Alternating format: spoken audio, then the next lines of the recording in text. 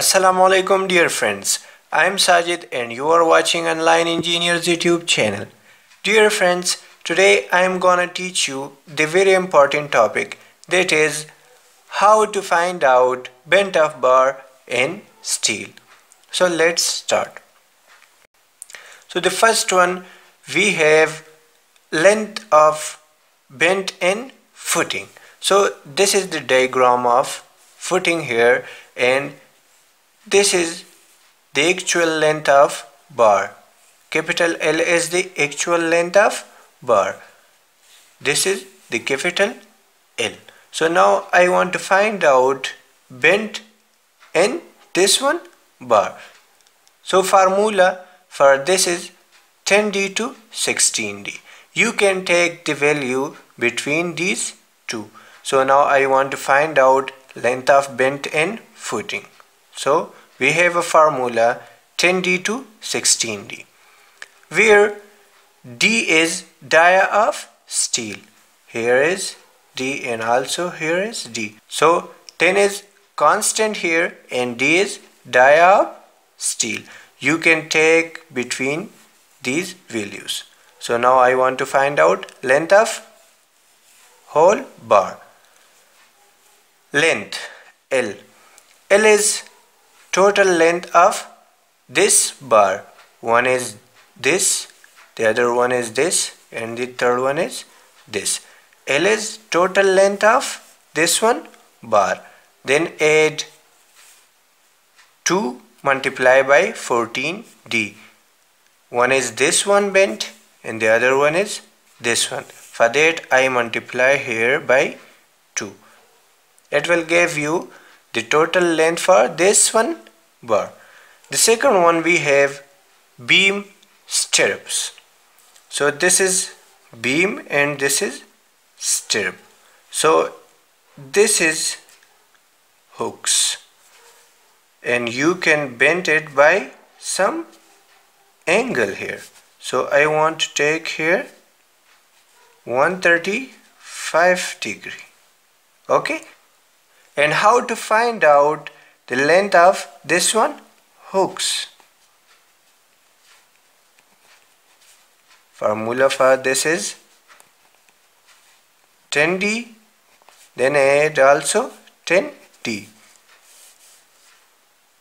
this is one hook and this is another one hook. When you want to find the length of this hook so 10d then add also here 10d because I take here two hooks. For that I write here 10d plus 10d d is dia of this one step. Okay? And 10 is constant. So you can find out the hooks in beam by this formula. Okay, the third one we have crank up bars. So this is crank and we provide it in slab for different purpose okay crank up bars so how I can find out the length of cranks so this is the formula for crank up bar 0.42D. So now I want to find out the total length of this one bar. Length of crank up bar capital L. So capital L one is this one length, second one is this one, third one is this one. So capital L is these three lengths. Then add 0.42 D. This is one crank and this is the another one crank. For that I multiply here by 2. 2 cranks here. For that I multiply 2. So by this formula you can easily find out the total length of this one bar. The fourth one we have overlapping length. So formula for this is 40D to 50D. You can take the values between these two.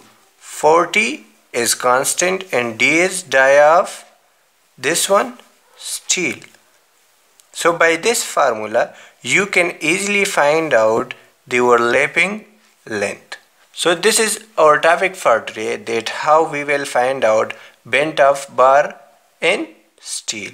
If you like this video then must subscribe to my channel and share this lecture with your friends.